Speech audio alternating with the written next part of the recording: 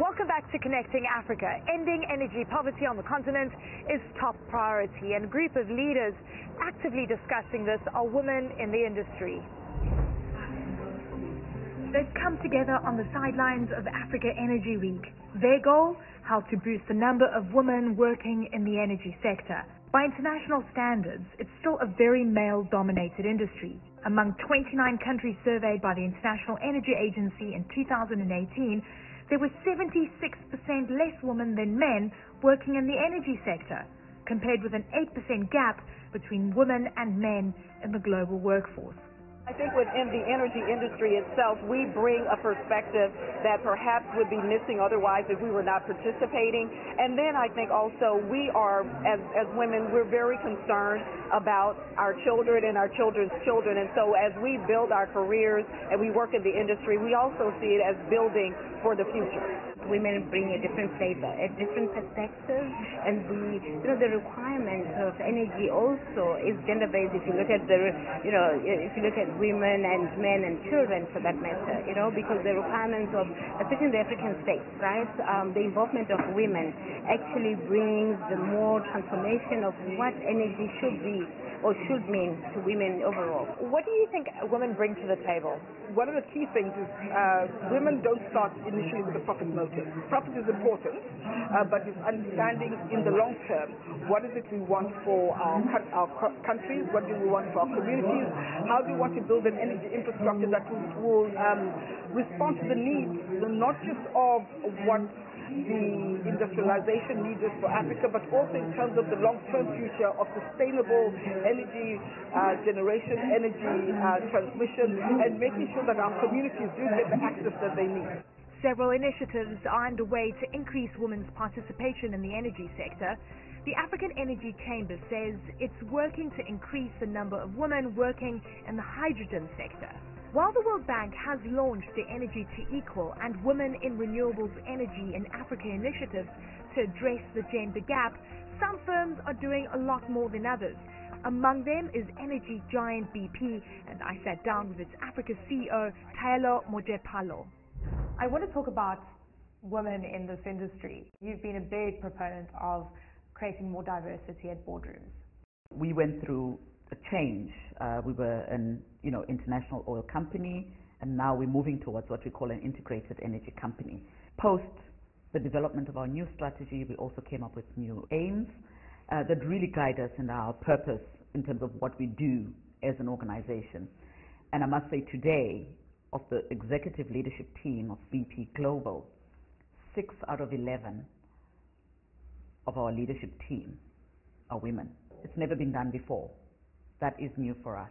These are very competent women. We've got brilliant engineers who just have never really had the opportunity and they are there now you know, actually leading the organization. We're gathered for Energy Week, and I think, you know, listening to the opening statements, everyone is talking about the energy deficit on the continent. So 600 million Africans don't have access to stable and reliable, safe electricity. How are you viewing this dilemma? It's quite clear that Africa has an energy deficit. In fact, you probably only have about 12% of Africa's population that has access to electricity, which is actually quite a tragedy. Now, if you look at the energy sources that we have, we've got abund- an abundance of various energy sources. Currently, our largest energy source at the moment is coal, and as we know, coal, from a carbon emissions perspective, is you know quite high. We also have access to an abundance of solar, an abundance of wind energy, as well as nuclear. And, uh, you know, now we do see the emergence of LNG gas, which we do see as a transition gas. And Africa has all of these.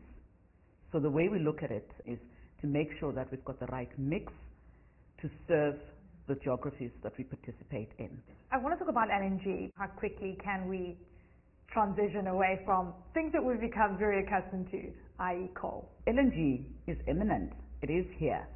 And, uh, you know, there is a lot of work and a lot of, um, yeah, a lot of projects that are on the go on LNG. And particularly if you look at Africa and Mauritania and Senegal, for example, BP, we have got uh, projects that we have.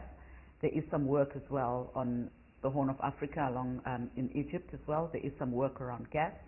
And if you look at the Southern Basin as well, um, there are many companies that are actually exploring, making sure that they put in the right resources to explore for LNG because it's an important transition gas. And uh, more especially if you look at on the north of Mozambique as well, there is a lot of work that, uh, you know, very soon and quite imminent, offtake will be um, taking place shortly. How long is it going to take us for us to become truly energy independent, right? Whether it's solar, wind, whether it's gas, whether it's refining oil on the continent. When you talk about energy, there are three things in my mind that you've got to make sure are in place. Adequate competition, um, efficiency of your um, value chain, as well as diversity. Those three are actually very important. And if you think about the efficiency aspect, for as long as you're not efficient, you can have 20 refineries in, in Africa. If they're not efficient, you will actually do your people a disservice because you won't be able to give them cheap energy. So you have to be extremely efficient. And what we are finding now is, you know, there are other regions that are able to compete more effectively than some of the refineries that operate in Africa. And as a result, you know, it becomes actually cheaper. But that is not, you know, the ideal end state. So it's important that we actually understand those three factors at play. Do you believe that Africa can help solve some of the world's global energy issues and, and deficits just by de facto our production capacity, which we are yet to fulfill, but we have this potential? Absolutely. If you look at the current crisis now that's playing out in Europe, it presents a perfect opportunity for Africa to be a major player in this gas um, in the gas industry, and not only in the gas but also in the oil industry. But as you know, we've been speaking about gas as a transition um, um, energy source, and uh, we believe that you know the African continent is well placed to participate, and we need to just create enabling environments for um, corporates to be able to participate. Well, that's it for this edition of Connecting Africa. If you want to know more about the stories on our program, you can check out our website from me, Eleni Giokos, here in Cape Town. Until next time, let's keep on connecting.